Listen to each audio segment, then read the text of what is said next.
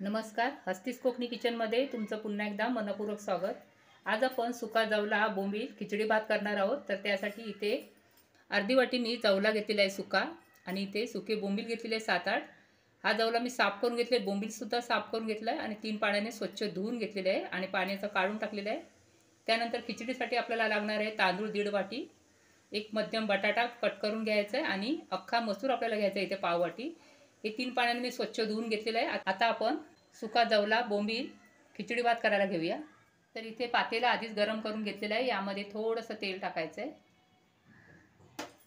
आणि यामध्ये जवला टाकायचा आहे. आता आपण जवला खरपूस होईपर्यंत भाजून घेऊया.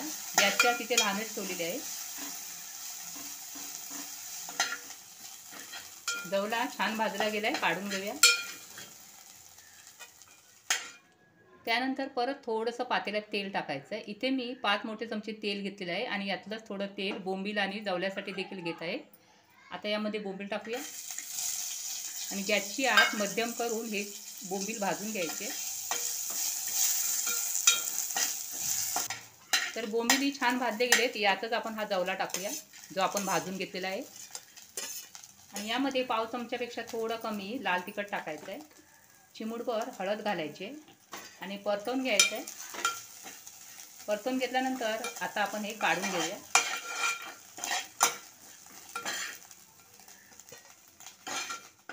तर पाच चमच्यापैकी जे उरलेलं तेल आहे ते यामध्ये टाकूया. या खिचडी भा भातासाठी तेल थोडं जास्तच लागतं. यासाठी मी पाच मोठे चमचे तेल घातलेले आहे. आता यामध्ये दहा पंधरा तरी लसूणच्या पाकळ्या टाकायच्या आहेत. तर लसूण पाकळ्या लहान आहेत म्हणून मी दहा पंधरा तरी टाकलेले आहे. लसूण थोडी जास्तच घाला. लसूण याप्रमाणे ठेचून घाला. लसूण थोडी लालसर झाली की यामध्ये एक मोठा कांदा यामध्ये टाकायचा आहे. याची आग इथे मोठी करून कांदा लालसर होईपर्यंत परतत राहायचा आहे.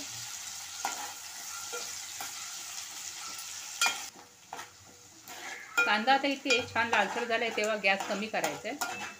आणि यामध्ये आता मसाले टाकून घेऊया. तर अर्धा चमचा आपल्याला हळद घालायचे एक मोठा चमचा आपल्याला लाल तिखट घालायचं आहे. तिखट जर तुम्ही कमी खात असाल तर अर्धा चमचा घाला. पण मांसाहारी पदार्थासाठी तिखट थोडं जास्त घालावं लागतं म्हणून मी तिखट इथे जास्त घातलेलं आहे. आता यामध्ये हा धुवून घेतलेला तांदूळ बटाटा आणि डाळ घालायची मध्ये पाणी टाकायचं आहे. त्या तांदळाच्या एक इंच वर येईल पाणी इतपत आपल्याला पाणी इथे घालायचं आहे.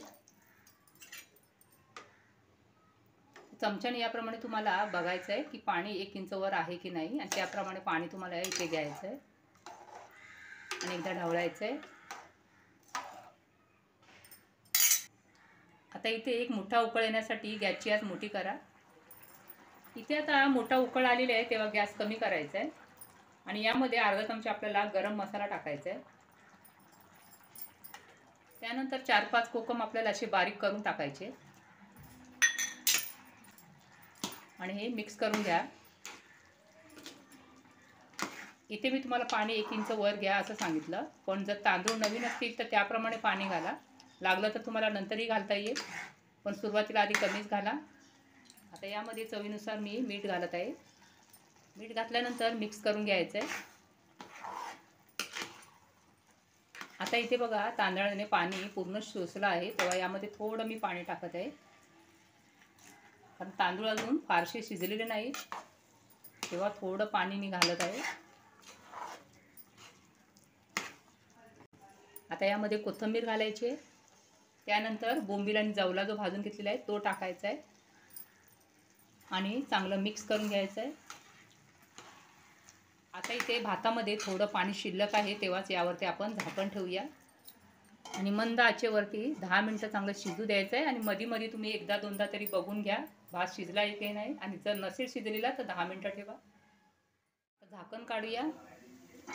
पाच मिनिटापूर्वी मी भात वरखाली करून घेतला होता आणि त्यानंतर दोन मिनटं शिजवून घेतलेला आहे. भात चांगला शिजलेला आहे. तेव्हा सात मिनटं मला इथे भात हा शिजायला लागलेला आहे. तर त्याप्रमाणे तुम्ही मध्ये पाच मिनिटांनी बघा आणि त्यानंतर भात शिजला असेल तर बंद करा. नसेल शिजलेला तर दोन तीन मिनटं ठेवा आणि मग गॅस बंद करा. तर आता आपला भात झालेला आहे मी एका ताटलीत काढून घेते. याआधी मी तुम्हाला सुका जवला भात दाखवलेला आहे आणि सुका करंदी भात देखील दाखवलेला आहे तोही खूप छान होतो. तर त्या पद्धतीने तुम्ही देखील करू शकता. झटपट अगदी भात होतो. तुम्हाला सर्व जेवण करण्याची गरज लागणार नाही. या पद्धतीने करून बघा आणि मला कमेंटमध्ये सांगा. तर आपला सुका जवला बोंबील आणि मसूर खिचडी भात तयार आहे. तुम्हाला रेसिपी पाहताना कशी वाटली तेही कमेंटमध्ये सांगा. व्हिडिओ आवडला असेल तर लाईक करा शेअर करा नवीन असाल तर सबस्क्राईब करा. परत भेटूया अशाच एका मस्त रेसिपी बरोबर. तोपर्यंत विश्रांती घेऊया. धन्यवाद.